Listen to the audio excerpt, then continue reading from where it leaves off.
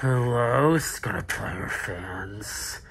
And now, for this last Halloween horror season, we will be reviewing one more Scream for this day.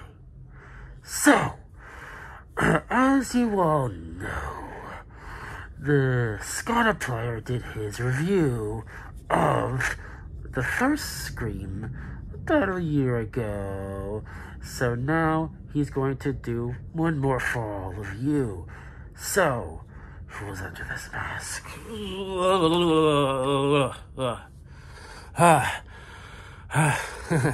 okay. yes, so this is my Halloween costume, as you guys can see. Um, for this, yeah, I'm going to review Scream 2 uh, for this review.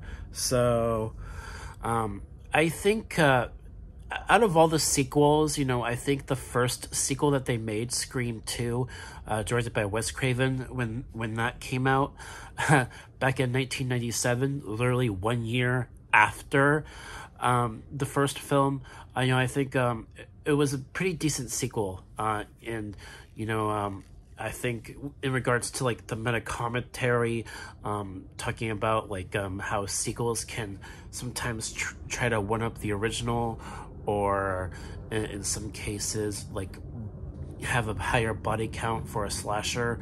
You know that that does happen with sequels uh, in in the slasher genre, and also you get you you get Sidney and her friends. Uh, they're all in college, and um, they're you know they're they're living their lives. You know they're talking about uh, there. There's like the this one scene in the film where they're talking about the top where they're talking about sequels and how um, movies like Terminator. Uh, 2, like Terminator 2, Empire Strikes Back, you know, they, they mention those kinds of movies, and um, it's really interesting, like, um, and kind of funny hearing about that kind of stuff. Uh, and they do a pretty decent job, like, um,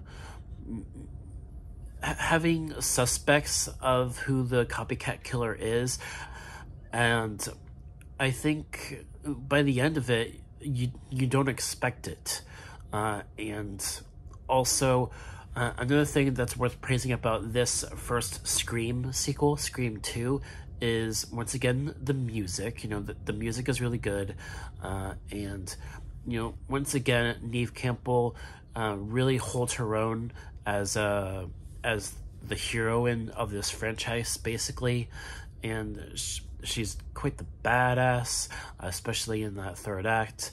And I'm not gonna talk about like the the big reveal of who the killer is because you know even though this is a movie that came out like back in 97 uh, i don't want to spoil that in case there those of you who are watching this have not seen the movie. So yeah and i think out of all the sequels i uh, in this franchise i think this movie has probably one of the more focused stories that doesn't stray too far and doesn't do anything too strange because I feel like Scream 6, the newest film, um, start uh, kind of did a few uh, things in the third act of that film where it just felt kind of strange and uh, I just think and also yeah, so Scream 2, um, it's a movie that will definitely uh, hold its own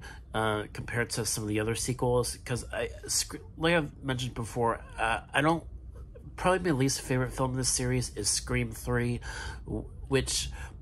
I mean, it's still decent. Like, none of these movies are bad, as I mentioned before. And I also think that uh, it was really nice having Cotton Weary in a bigger role in this film, although there were times where uh, uh, Cotton Weary uh, sort of uh, acted strangely and suspiciously, and which made me, which you know, uh, everybody's a suspect, and yeah, there are moments like that with his character, but it was nice having him in, uh, in a bigger role in this movie. Uh, and then at the beginning of the third film, uh, he gets cut short basically.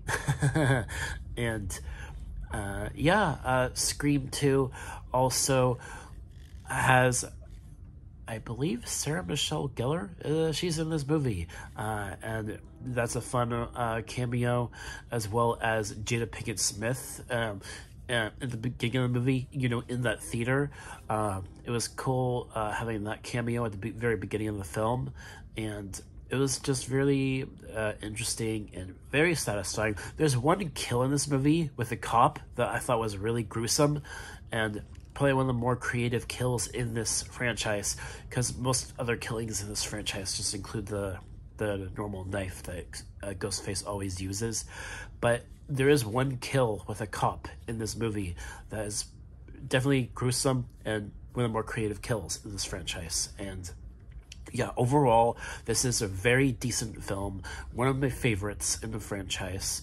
And if I had to give this a grade, I'd probably give it I'd say I'd say like a A minus. I think that'd be my grade for Scream 2. Uh, and that's my review. Happy Halloween, everyone! And I'll I will definitely start doing um, videos about um, maybe Thanksgiving, you know, Thanksgiving themed uh, videos, uh, maybe because uh, I know there's like a I know that there's a new slasher movie that just came out recently uh, in theaters called Thanksgiving. Uh, and I guess they called it Thanksgiving because there's already a uh, a really bad turkey movie called Thanksgiving, so they can't use that title. Uh, so who knows? Maybe we'll see that do a review for that uh, at some point soon. So yeah, that should do it for this video. Happy Halloween, and after this, I'm going to enjoy some Reese's. All right, guys, take care and peace.